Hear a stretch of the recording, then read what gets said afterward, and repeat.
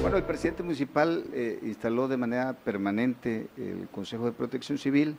eh, cuyo objetivo es estar este, alertas y estar listos, organizados, para que a la brevedad posible se pueda atender cualquier contingencia. Hemos realizado a instrucción del ingeniero Joaquín Caballero, alcalde de esta ciudad, y de la señora Cristina Cházaro de Caballero, la presidenta del DIF, hemos distribuido y organizado al personal de tal manera que los puntos críticos de la ciudad puedan estar mediante monitoreo permanente y la ciudadanía pueda tener respuesta inmediata. Se han organizado equipos de trabajo con personal de gobernación, de la Secretaría de Obras Públicas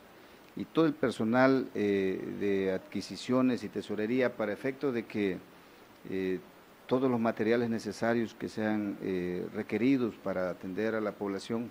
se puedan dar en tiempo y forma. comentarte que aunado a esto también el sistema DIF se encuentra ya organizado con su personal. Tenemos como posibles albergues el INAPAM ya habilitados y eh, las propias instalaciones del DIF. ¿Cuántos sectores fue dividida la ciudad? Fueron cinco sectores de la ciudad, el sector poniente, el sector centro, dos partes de la, del área urbana de la ciudad y la zona del pantano, que es el área que en algunos casos presenta mayor, mayor afectación, aunque realmente ya con las condiciones del clima, eh, el sector centro también eh, hay zonas en las que ha presentado afectaciones. Se están trabajando también en la limpieza de los colectores y la limpieza de canales a cielo abierto para que el agua pueda fluir con más rapidez. Hay un trabajo intenso, hay un presupuesto ya autorizado eh, que se viene ejerciendo de hace más de un mes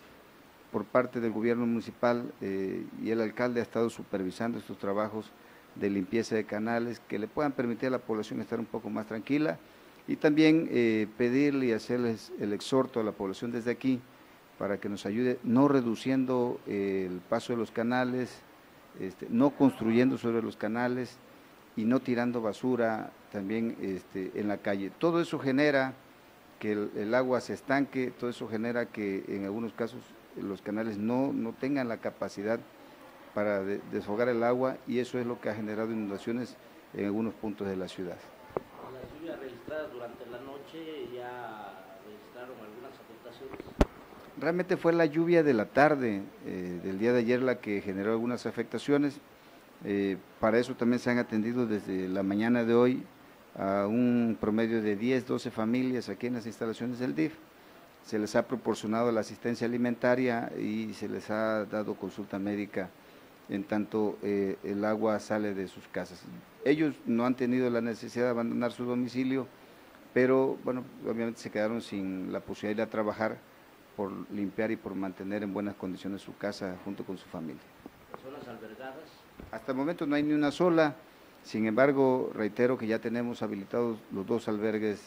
este, que tradicionalmente se ocupan, uno es el de las instalaciones del DIF y el INAPAM, son los lugares que tienen cocina, que tienen baño, que tienen colchonetas en este momento y que realmente ahí estamos ya prácticamente listos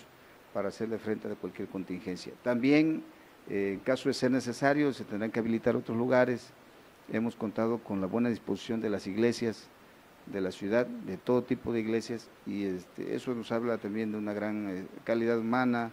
una gran disposición de las iglesias para poderse sumar